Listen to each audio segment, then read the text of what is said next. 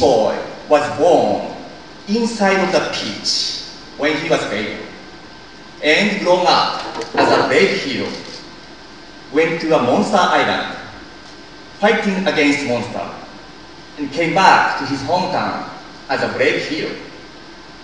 When I, first heard about Peach Aviation name, that was a story which, I, which came to my mind.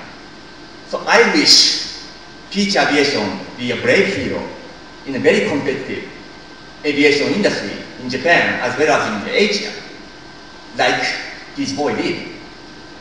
And I think, I strongly believe, this aviation team will be able to achieve that with a fighting spirit, pioneer spirit in their mind.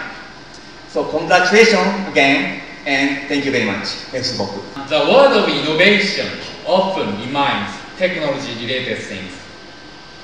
But uh, however, uh, Peach's, Peach's undertaking is a kind of innovation of change of business model uh, from a point of view. Before Peach, uh, nobody tried to explore huge untapped North, uh, e Northeast Asia LCC market.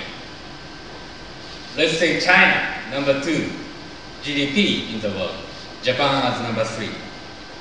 Uh, once we can connect those two neighbors uh, deeper with new business model, it should be more than innovation.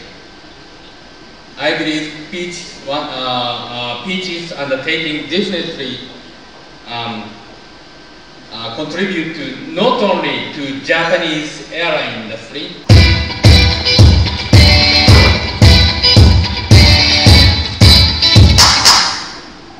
Well, welcome. And uh, dear uh, Inoue-san friends from Peach Aviation, First Eastern uh, Innovation Network Corporation of Japan, GCAS, CFMI, and all the rest of us. Thank you all. We're very impressed how quickly the Peach team achieved this impressive result. There are so many issues and milestones to overcome in such a short time for a new airline.